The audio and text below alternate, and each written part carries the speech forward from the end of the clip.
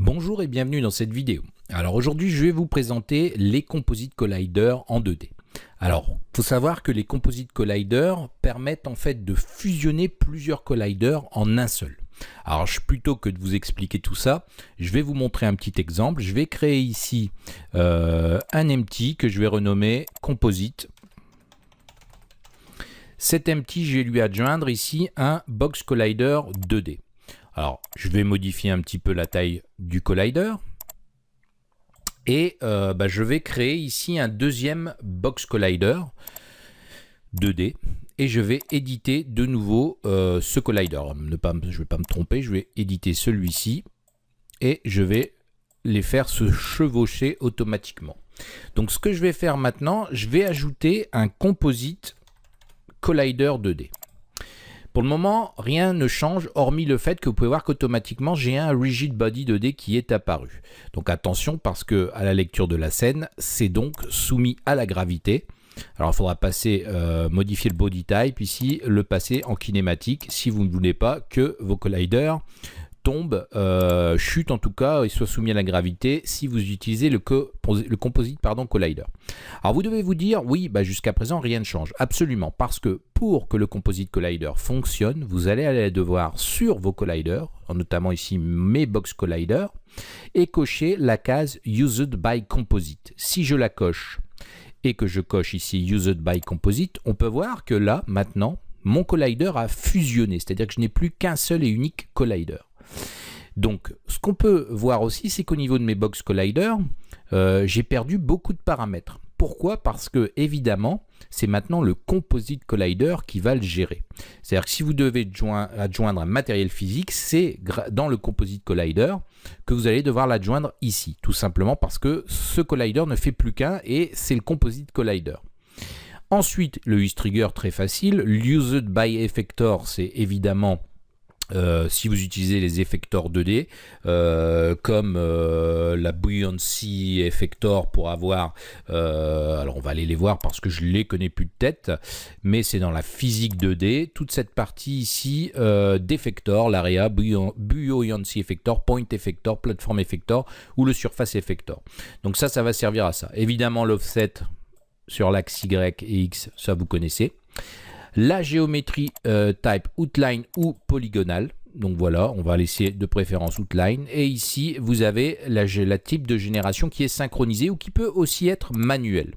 Alors manuel euh, parce que si maintenant je modifie ici ce collider, on peut voir que je vais devoir le régénérer pour que ça fonctionne et je vais d'ailleurs devoir le resélectionner. Vous pouvez voir. Donc ça, euh, c'est euh, synchronisé. Ça va permettre de synchroniser en live. Si vous modifiez un collider euh, avec du code par exemple ou une animation, bah, ça va être synchronisé et le calcul ne devra pas être fait. Alors au niveau des vertex ici, vous avez la possibilité, voyez, de modifier un peu la géométrie avec en modifiant la position des vertex. Et ici le edge radius pour arrondir un petit peu les formes du collider.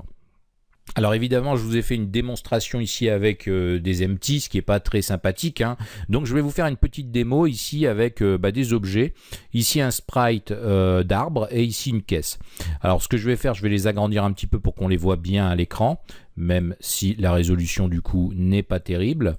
Mais l'intérêt sera de vous montrer comment ça fonctionne. Donc attention, ici sur l'arbre, je vais ajouter un, un polygone collider parce que ça ne fonctionne pas ces composite collider avec tous les colliders. Ça fonctionnera avec les polygon collider, avec les box collider, mais par exemple si j'ajoute un circle collider 2D, vous pouvez voir que là je n'ai pas la possibilité d'utiliser, je n'ai pas used by composite. Donc ça attention, faut le savoir. Alors ici j'ai euh, ce type de collider et je vais pouvoir fusionner ça avec un box collider sans aucun souci. Regardez, je vais mettre ici le box collider. Évidemment, ça, il faudra que mes euh, deux objets se chevauchent. Donc je vais faire chevaucher ici mon box collider. Alors comment je vais faire? Ben, Je vais créer un empty que je vais renommer ici composite. Alors en règle générale, le composite collider sera fusionné des colliders. Donc vous avez le même objet. Imaginons ici que cette caisse et cet arbre soient deux objets que j'assemble. Je vais prendre euh, ici euh, mon arbre et ici euh, ma caisse, je vais mettre enfant du composite. Je vais lui ajouter un composite collider. Et au niveau de mes, des deux objets qui sont enfants, je vais cocher ici Used by Effector et je vais faire la même chose ici pour la caisse Used by, euh, par, by Composite. Pardon, vous voyez, je me suis trompé. Et ici, Used by Composite. Et maintenant, si je sélectionne mon objet composite, on peut voir que j'ai un seul et unique collider.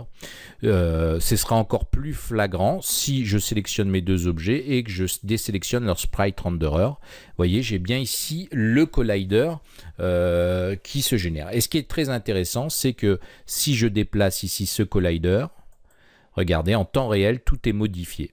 C'est-à-dire que ici, je vais modifier et passer ma caisse sur l'arbre. Alors, je vais pour l'exemple, les réactiver. Maintenant, si je sélectionne le composite, on peut voir que tout a bien été modifié en temps réel. Alors ça, c'est justement du génération type synchronis, synchronis, synchronous. Pardon. Si je le passe en manuel, ça va pas du tout être la même histoire. Regardez, je le repasse ici. Et là, je le passe en composite, ça ne fonctionne pas. On peut voir que ça n'a pas été modifié. Je vais devoir régénérer le collider. Et de nouveau, ici, on peut voir que ça s'adapte.